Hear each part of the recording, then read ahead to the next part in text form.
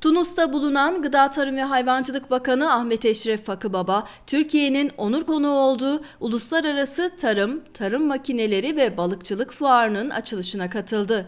Başkent Tunus'ta düzenlenen SİAMAP 2017 ziyaretçilere kapılarını açtı. Türkiye'nin onur konuğu olduğu fuarın açılışına Gıda Tarım ve Hayvancılık Bakanı Fakıbaba da katıldı. Fakıbaba, Türk firmalarının standlarını ziyaret ederek bilgi aldı. Bakan Fakı Baba daha sonra bu bölüme gelen Tunus Başbakanı Yusuf Şahit, Tunus Tarım ve Balıkçılık Bakanı Semiret Tayyip'le Tunus Çiftçi ve Balıkçılar Birliği Başkanı Abdülmecit Ez Zar'ı karşılayarak Türk firmalarının standlarını gezdirdi. Fuar açılışına katılan resmi heyetler daha sonra Tunus Polis Akademisi ekibinin sergilediği binicilik gösterisini izledi.